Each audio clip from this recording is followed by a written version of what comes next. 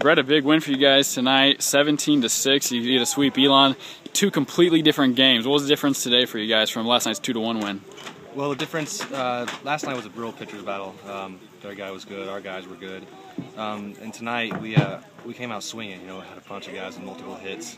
Uh, and I, I, think we we uh, we took the momentum from, from yesterday and we, we brought it into today and it, and it showed with a 17-6 Certainly, and you had a great day at the plate, three hits, including uh, two triples. You only had one career triple coming into today, showing some wheels not only on the triple, but also scoring from first base on a double by Connor early in the game. Talk about the, the wheels you're showing out there and just uh, your ability to get to third base. Well, first off, Connor made a great swing on that pitch. It was a 3-2 pitch. Uh, that was a big situation in the game there, and you know, I was taking off on the pitch. I saw it off the bat, and I, and I, I felt pretty good uh, before the game, and I, I, knew I had my wheels with me today, so I, uh, so I was going hard the whole way.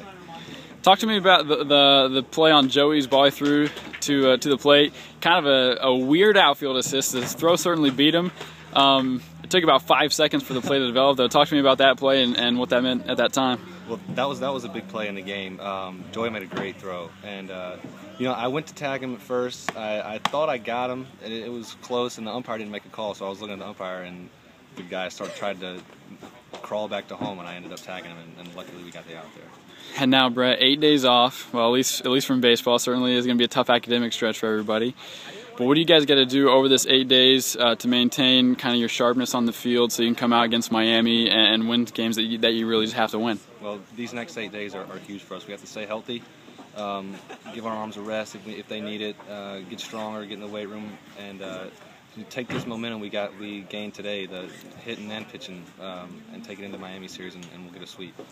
All right, Brett. Well, congrats on the win, and uh, way to display the wheels out there tonight. Thank you, Steven. Appreciate it.